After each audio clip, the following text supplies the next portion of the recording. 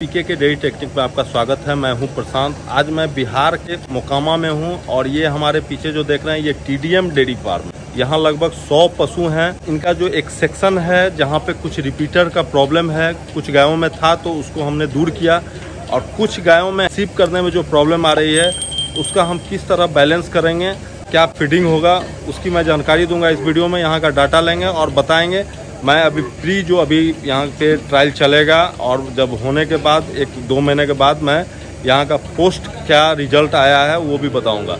इस वीडियो पे बने रहे हैं। अच्छा लगे तो लाइक करें सब्सक्राइब करें और शेयर करें। मैं उस सेक्शन में लेकर के चलता हूँ और हमारे साथ अवधेश जी रहेंगे, जो यहाँ के मैनेजर हैं और यही सारी जानकारी। तो किसान भाइयों, यहाँ का हम तो मैनेजमेंट पे बात करते हैं। यहाँ जो आप देख रहे हैं मिल्किंग हो रहा है। ये मिल्किंग मशीन के द्वारा यहाँ दूध दुहाई का काम होता है। और दुहाई होने के बाद प्रत्येक गाय का दूध का वेट करके आप वहाँ जो बोर्ड देख रहे हैं, इस बोर्ड पे एंट्री होता है, गाय का नंबर होता है, क्या दूध सुबह और शाम का हुआ बोर्ड पे एंट्री करने के बाद फिर इसे रजिस्टर पे एंट्री किया। और यहाँ रजिस्टर में एंट्री करने के बाद इसे फिर कंप्यूटर में डाटा एंट्री किया जाता है। आप कभी भी चाहें तो इस फार्म का सारा डाटा ले सकते हैं। यहाँ के स्टाफ इस तरह से ट्रेंड इनका जो काम बना हुआ है, उसे वो करते हैं। डाटा एंट्री से आपको ये पता चलता है कि आपका फार्म किस पोजीशन पे है और लॉस में जा रहा है या प्रॉफिट में जा रहा है। अगर लॉस में जाने की स्थिति में है तो उसे आप प्रॉफिट में कैसे लाएँगे? आप खुद ब खुद उस पर काम करने लगेंगे। इसलिए प्रत्येक दिन मिल्क का रिकॉर्ड होना किसी भी फार्म के लिए बहुत ही ज़रूरी है और यहाँ पे ये प्रॉपर किया जाता है। इसके लिए एक स्पेशल एक स्टाफ रखा गया है प्रॉब्लम होता है रिपीट ब्रीडिंग का या एनेस्टर जो हीट में नहीं आती है तो उसको इस सेक्शन में रख दिया जाता है। तो अवधेश जी टोटल यहाँ कितना है इस सेक्शन में गाय? बीस गो है। उन्नीस को है। जी। जिसमें से कंसीव जो कंफर्म होता है वो कितनी गाय हो चुकी है? लगभग दस कन्फर्म है इसमें। और गायों का? और इसमें से कुछ गाय को सीमेंट पर, पर पड़ा हुआ है इसको अभी बाईसी किसी को बाईसी लगा है। किसी को अभी नहीं लगा है। और इसमें से दो तीन चार गाय ऐसा है कि वो अभी रिपीट रिपीट कर गया। रिपीट चारों गाय को थोड़ा सा दिखाएँ तो कौन कौन सा गाय है?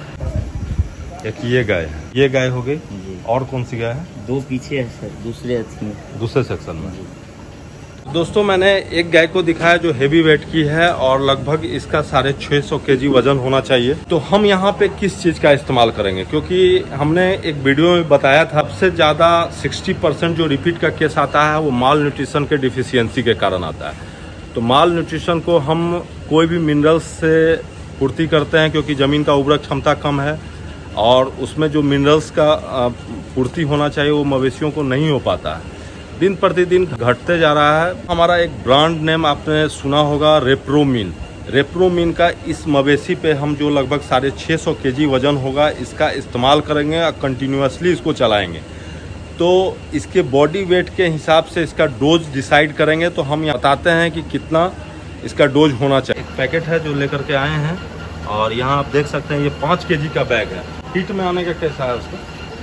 हीट में तो सर रेगुलर ही आ जाती है बार बार तो आती ही रहती मतलब है। हीट में क्या है इक्कीसवें दिन आ जाती है? टाइम से यानी कि टाइम पे नहीं आती है। टाइम पे नहीं आती जी आगे पीछे। हाँ आगे पीछे। अभी इसको 50 ग्राम इसको डोज हमने बताया है इसलिए कि इसका बॉडी वेट जो है साढ़े छः सौ के जी से कम नहीं है हेवी गाय है। और कितनी लैक्टेशन की है? तीसरी रखिए। तीसरी होगी। तो इसलिए इसका जो डोज होगा 50 ग्राम इसको आप चलाएँगे ये बेस्ट रहेगा। और कंटिन्यू चलाएँ आप हमको इसका साइकिल के बारे में भी पूरा आप रिपोर्ट करेंगे कि क्या इसका हीट में आने का कितने दिन पे आ रही है। तो दोस्तों और जो दो गाय रिपीट में है हम उधर जा रहे हैं और दिखाते हैं कौन सी गाय है। ये सर बाकी है हिफर में है। ये, हाँ। ये। अच्छा अच्छा। ये ये लगभग पाँच सात बार ये रिपीट हो चुकी है। अच्छा प्रोमिन का जो डोज देना है इसको 30 ग्राम देना है। तीस इसका बॉडी हाँ बॉडी वेट जो है लगभग 400 केजी के आसपास होना चाहिए। तो इसको 30 ग्राम पर डे देना है ठीक है? तो दोस्तों अभी जो मैं रेप्रोमिन का डोज बता रहा हूँ गायों को दिखा करके बहुत सारे दोस्तों का किसान भाइयों का क्वेश्चन होता है कितना खिलाएँ? तो आप इससे एक माप सकते हैं कि मवेशियों के वेट के हिसाब से किसी भी चीज़ का डोज होता है। और कौन सी गाय है? ये। ये। जी। ये वाली। इसका क्या है? ये भी सर रिपीट में है बच्चा पहले दे चुकी है लेकिन इससे आगे ये कभी बहुत काफ़ी लेट में ये हिट में आई थी।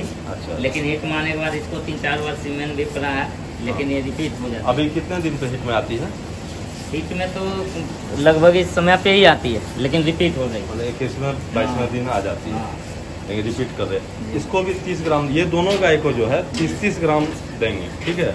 इसका भी लगभग साढ़े चार सौ के जी के आसपास वज़न होना चाहिए अप्रॉक्स तो इसको और इसको तीस तीस ग्राम देना है, वो जो गाय थी, उसको पचास ग्राम देना है। दोस्तों, रेप्रोमिन आप ज़रूर जानते होंगे, एक ब्रांड है, और किसी भी बड़े फार्म में आप मतलब किसान जो इसका इस्तेमाल ज़रूर करते हैं, क्योंकि रिप्रोडक्शन पे बहुत ही अच्छा इसका परफॉर्मेंस रहता है। और ख़ास करके इसमें मिनरल्स हैं ट्रेस मिनरल्स विटामिन्स और ओमेगा थ्री फैटी एसिड जो कि आप ज़्यादा जानकारी कुछ लेना चाहेंगे तो गूगल पर भी जा करके ओमेगा थ्री फैटी एसिड का रोल के बारे में आप सर्च कर सकते हैं। वैसे मैं बहुत सारे वीडियो में मैंने बताया है ओमेगा थ्री फैटी एसिड के बारे में।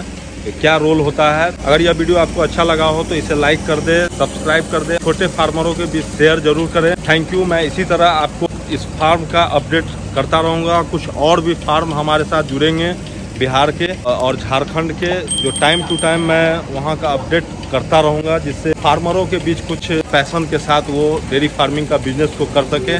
धन्यवाद।